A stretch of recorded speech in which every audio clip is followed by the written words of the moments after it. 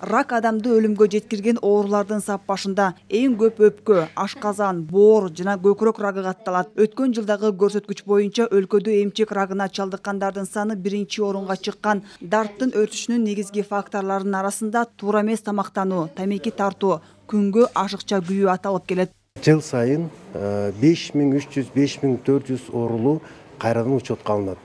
Ошол э, кайрадан учетко алынган оорулардын ичинен үч миң беш жүз үч миң беш жүз элүү оорулуу бир жылдын ичинде каза болушат да дүйнөлүк саламаттык сактоо уюмунун маалыматына караганда ар бир сегизинчи эркек жана он биринчи аял ушул оорудан көз жумат. Бирок рак оорусунан каза болгондордун жетимиш пайызын жакыр өлкөлөр түзөт дүйнөдө өпкө рагы менен жабыркагандар басымдуулук кылат жана бул дартка чалдыгуунун бирден бир себеби чылым чегүү болуп эсептелет.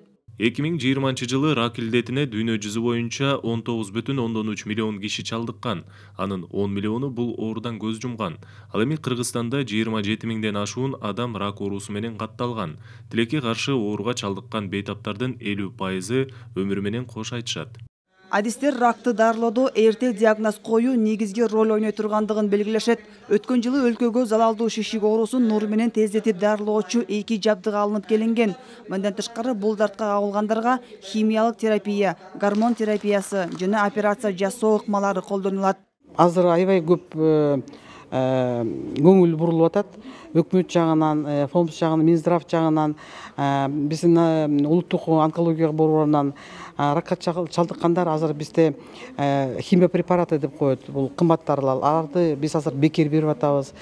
Бизге он тогузунчу жылы жүз алтымыш миллион бөлүнгөн былтыр алтымыш миллион быйыл эки жүз жетимиш миллион сом бөлүнүп атат. Жалаң ошо химиотерапевтический ракка чалдыккандардын дарысы.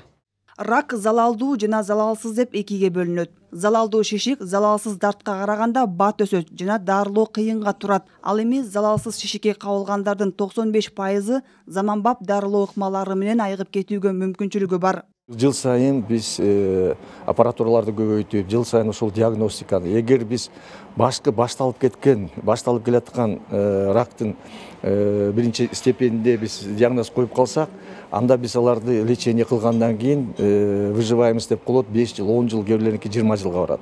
Эгер биз үчүнчү төртүнчү стадияда рак диагноз коюп калсак анда биз ал жаран баягы жашоосу аз эле болуп калат. Төртүнчү февраль бүткүл дүйнөлүк ракка каршы күрөшүү күнү.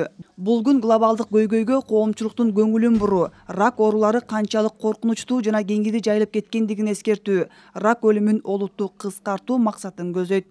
Айжамал болот кызы руслан сабатаров ала тоо жыйырма төрт